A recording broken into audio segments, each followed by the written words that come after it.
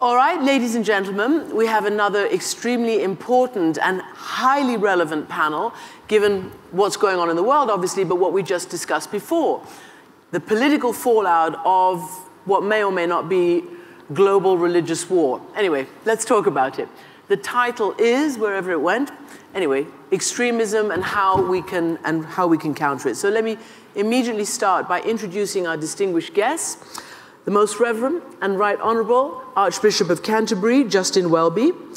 Sitting next to me, Shawki Ibrahim Abdel Karim Allam, who is the Grand Mufti of Egypt and also the country's authority on religious edicts.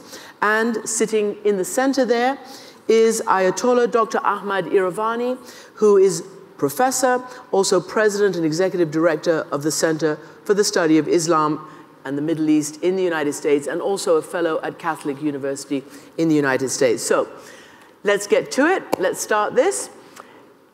Let me ask you all to comment on where we are. I sort of said global religious war, but there is a deep, deep worry, certainly here in the halls of Davos and in the region, about this polarization, certainly within the Islamic faith, between Saudi Arabia and Iran, between the Sunni superpower and the Shia superpower.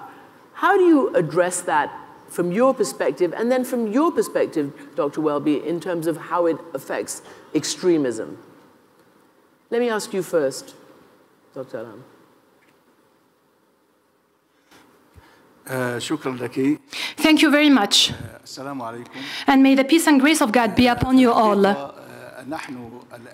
As you all know, we are living a very difficult, in a very difficult situation. We are all on the same boat. And one can say that we have to share the responsibility regarding this ship. If we do not manage things the way we should, then we will be faced with many dangers. We face a historical responsibility, and we must shoulder this responsibility and think about things deeply. I think that uh, the problem of terrorism is the most fundamental one at the present time. And we really have to examine the reasons behind this phenomenon of terrorism which is such a heavy burden for us to bear right now. There are many reasons, they're complex, they're interrelated, and I don't think that we can say that this phenomenon is religious only. The religions of the book uh, do not condone terrorism. We can't say that Islam or Christianity or any other religion is responsible for terrorism. There is nothing in the sacred texts revealed by God that are responsible for terrorism. There are other reasons, therefore, we must examine them, we must identify them. There are political ones, economic ones, and social ones. I'm sure as world religious leaders, you will all say that in none of your books does there exist any justification for terrorism? But unfortunately, religious texts are being used to justify terrorism, violence, extremism. Before I get to you, I want to ask you, uh, Archbishop Welby, how does the West, how does the Christian communities try to de radicalize, try to persuade your other ethnic minorities, whether Islamic or, or wherever, that this is not a war between religions, that this is something that has to be calmed down? How do you stop the extremism in, in our communities? Well, very clearly, at the moment, we do it almost totally ineffectively. The evidence is simply there. We all know, and it's well accepted here, that the problem uh, of religiously motivated violence is global and it's generational. Nobody says it's short term, nobody says it's local. Though we tend to concentrate it over much on Islam, when actually it's afflicting all the major faith traditions, including Christianity and including um, uh, Hinduism and Buddhism. And that is happening very clearly. Secondly, it seems to me that uh, religiously motivated violence, uh, I, I'm, I hesitate in agreeing entirely with the idea that uh, it's certainly not justified in our sacred scriptures, but within all our traditions, there is something that leads people to violence. And until we accept that, and as mainstream religious leaders take responsibility for it, rather than saying they're not really Christians who killed the people at Srebrenica. So it's not my problem. If we do that, we can never face it. Mm -hmm. If we're willing to take responsibility, we can begin to address it. And we will not de radicalize until the mainstream faiths provide a sufficiently convincing, integrated narrative that is more powerful than the narratives that are parasitic on our traditions, rather than being a mainstream part of them, but overwhelm the materialism and the failure of the West to take to address the third part of the crisis. It's global and it's generational it is also ideological and theological. And until we address that, we will fail. Dr. Iravani, do you agree? I mean, that's a pretty blunt acceptance of responsibility on the Archbishop's side. Do you take responsibility in terms of the wider Shia or Muslim faith? You represent the Shia here right now, but the Muslim faith. In the name of God, the merciful, the compassionate.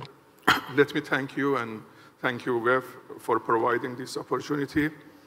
I'm very honored to be here among you, respected ladies and gentlemen. Before I answer your question, uh, again, I would like to emphasize on the issue of extremism in general and violent extremism in particular. Both of them, I, I can call them a kind of mental um, epidemic disease that goes everywhere no, doesn't recognize border and doesn't recognize or doesn't limit to any ideology or religion. So I agree that we as a Muslim also should take responsibility of what's happening in the name of Islam. Although we all say that Islam is the voice of peace, but as a, as a reality, there are some kind of cancers and diseases that is happening now within the Muslim community that must be addressed in the larger level and must be fought against in, when it comes to the violent. Mm -hmm. You know, it's great to hear you say that sitting on this stage. We almost never hear that when we interview leaders on television or when there are public debates. It's all so heated that we never hear uh, a leading cleric, a religious leader, for instance, the Grand Mufti of Egypt, actually saying there is a cancer in part of our society and part of our religion. So how do you, if you accept that, and I assume you accept that too, how do you then start to de-radicalize? In Britain, the Prime Minister has just said that he's going to give more money to teach Muslim women how to speak English, to, to stop them being isolated, to allow them to have more influence over their children. Um, the whole sort of idea of enlisting Syrian mothers, even in Britain, to, to persuade other mothers not to allow their children to go to fight for ISIS. Where do you start de radicalizing? Do you have an idea? Where do you start de radicalizing? Uh. I should like to say the following. This serious disease, I think, has three different levels. First of all, we need prevention. That's the first level. And this is something we can work on. We can take measures for prevention.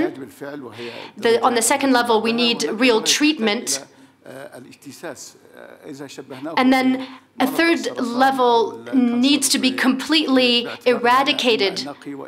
If we create the analogy with cancer, then sometimes you need to take out the tumor, remove it. When it comes to treatment, I don't think that any one party bears the responsibility. I think that uh, there should be coordination, cooperation between all of the institutions. Religious institutions, uh, religious leaders bear a great deal of the responsibility, obviously. we try to correct incorrect concepts that have been spread. Some ideas have been distorted and spread in their distorted form. So we try to correct some ideas and concepts and go back to the real ideas. There's also a political and an economic responsibility. There's a responsibility when it comes to education. Some school curricula need to be reformed and changed. So the responsibility is a joint one. We're all responsible, not one party is responsible, and therefore we call upon all parties, upon individuals, and at the international level, we call upon everyone to join the fight. Uh, adding to what Grand Mufti said, uh, as we agreed, the violent extremism or extremism in general is a kind of disease, it's not the cause. We have to find the causes of this kind of extremism. So there is no one cause or there is, therefore there wouldn't be one solution. Now, for, for that, different causes there, I just want to say a few of them, the most important one from my perspective, that create kind of extremism. There are external elements. For example, let's take the Middle East case. Now, the intervention of the countries by non-Muslims and superpowers, the issue of injustice and poverty, missing of hope for the future, the double standard policies of different uh, regional players, the political corruption of the governments. Okay? And these are the, the elements. Of your governments, the governments in the region. In the, in the region, of course. Of, of the government in the region. Not participation or taking in, in, in, in account the role of the people within their political system seriously. All of these are adding to the uh, the growth of, um, uh, of, of um, extremism. Now, how to prevent the people to join to this group, how to stop violent extremism. So all these issues must be somehow addressed. But from a clergyman, from a man of religion, from a student of religion, also we have responsibilities. From the people of faith. Now I don't want to talk about others' responsibilities. So now if it comes to us as a man of religions, so we have different huge kind of responsibilities among ourselves as Muslim that usually unfortunately in wrong way divided between Shia and Sunni and they try to uh, bring everything on every problem towards the Shia Sunni, which is not true that the leaders of both sides, especially Al Azhar, with a very rich history of engagement in interfaith dialogue, and also the Islamic seminary of Qom and Najaf and Grand Ayatollahs there, at as first step, they should come together and have a, a dialogue. Well, I want to follow up with Archbishop Welby on that because here's the problem. First of all, do you accept, Archbishop, uh, Dr. Iravani's contention that, yeah, we have responsibility, but it's pretty much external causes. Uh, and do you worry that there is no one Islamic leader? I'm awfully sorry, gentlemen, but there is no Islamic pope. We have a Catholic pope, we have an Anglican archbishop, we have leaders, at least in, in, in the religion that you represent, who can lay down the law. But there's so many different interpretations when it comes to your religion not interpretations, but leaders. There's sort of like a pyramid. Where is the one leader? So I just want to ask Archbishop Welby if you think that is one of the problems.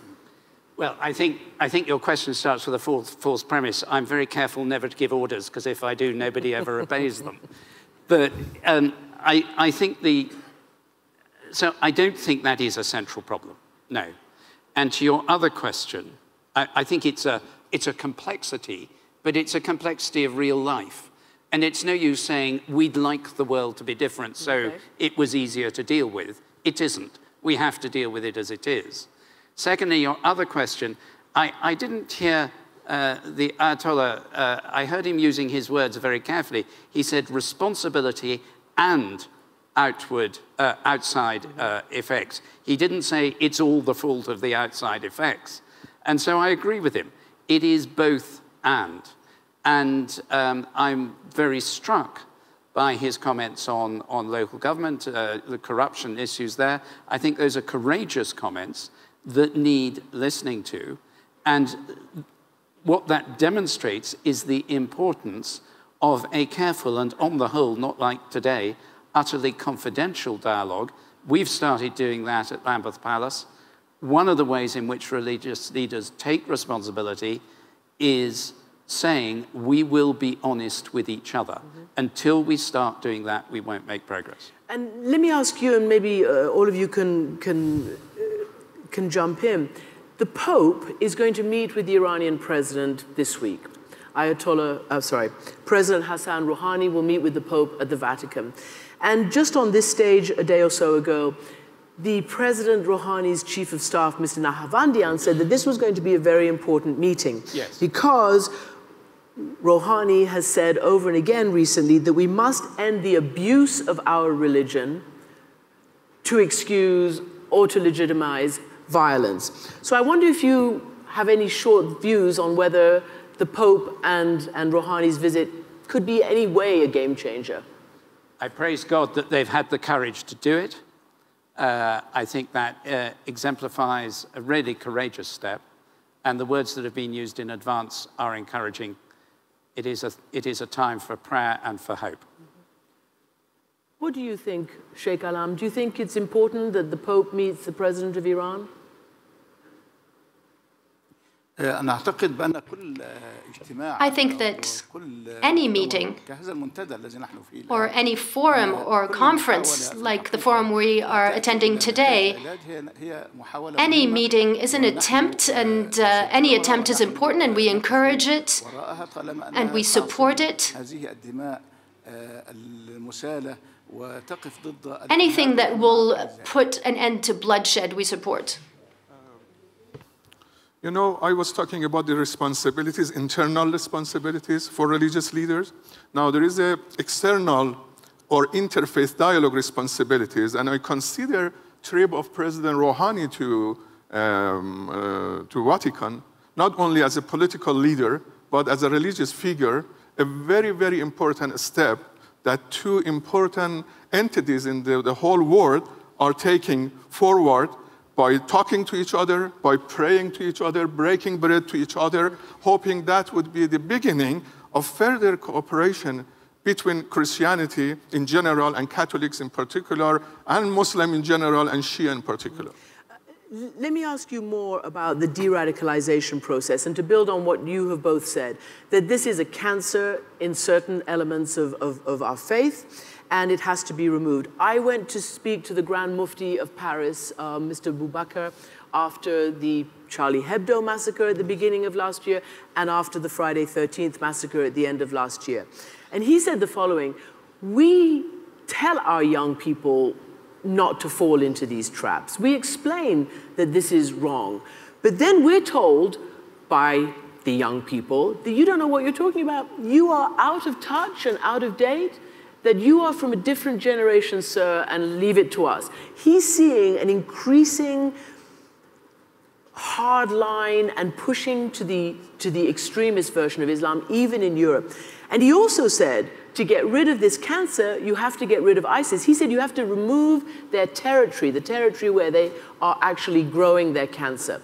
He was for, you know, the military removal of ISIS to remove their ability to do what they're doing. Do you agree with that you know, on both those issues? Yes, I was in Paris immediately one day after that tragic event took place, and I was going to Strasbourg to take part in World Economic Democracy Forum to give a speech there. So that was a very tragic event, but made everyone to reflect and think more about the causes of that kind of actions. We realized that, and I think many people were agreed that part of the reason is the Muslim, especially in France, has been marginalized and stigmatized. They are looking at them as others. They are not looking at them, the community, as one community, as one human being. So, dehumanizing this kind of people, that's a kind of natural reaction. They will have it to everyone, including us. But again, at the same time, I have to confess that we as people of religion need to be more educated, more updated about using technology, about the ways that we can also talk to the young generation. In somehow they are right that many of our ideas are old, are not updated. So that's the fact as well. Mm -hmm. But that's not the only reason. And, and Sheikh Allam, your view? I think that young people are an extremely important segment of society. No country can achieve prosperity and growth without its youth, and therefore we have to interact with the youth and we have to use the means of their generation and we have to adopt their modern thinking and we mustn't dwell too much on the past. Obviously, we need the past for certain rules and traditions and for the scientific methodology, but we must adopt, adapt to the future and the progress it has made. I will give you an example. We dealt with young people by creating many pages on the internet, many sites to warn young people against false ideas and extremism. We created a Facebook page. And more than 3 million people visit this page on Facebook. And on this page, we spread correct ideas with the goal of protecting young people. And young people interact with us through this page, obviously. We also created a magazine called Insight, Basira in Arabic. It is published in English. And it tries to respond to Daesh's ideas. And it provides a response based on scientific thinking. So we have interacted with young people, we interact with young people, and religious leaders need to deal with the youth using the means they use. We're rapidly out of time. I just want to ask you, Archbishop, for a concluding thought in terms of the, the relationship between Christianity and Islam in the parameters of this extreme, extremism dilemma we have, and how we, you think in our Western societies we can, you know, stop this interfaith crisis. I think we're making progress. There is a great deal more honesty coming into our conversation than in the past which was where the debate was uh, quite often at the rather banal level of wouldn't it be nice if we were all nice? And I think we're making progress into addressing the issues that affect us. What we've lost the capacity to do, and here um, uh, Muslims and Christians are at one on this, is we have lost the capacity in Europe to use theological values to discuss our differences in society generally, it's become confined to the religious world, which means we no longer have a way of answering the challenge of the extremists. We no longer have the vocabulary. We say better materialism will help us. Nobody goes to Syria because they think they'll get a better car next year. It just isn't the way they're thinking. It's a theological and ideological problem. And until in Europe we regain the capacity to use theological and ideological vocabulary, we will not be able to counter extremism effectively. We've lost our own roots. On that note, Archbishop Justin Welby, Dr. Iravani, and Sheikh Allam, thank you very much for this fascinating discussion.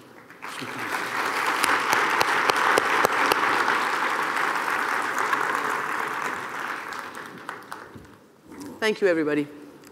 Shukran. Shukran. Shukran. Thank you very much.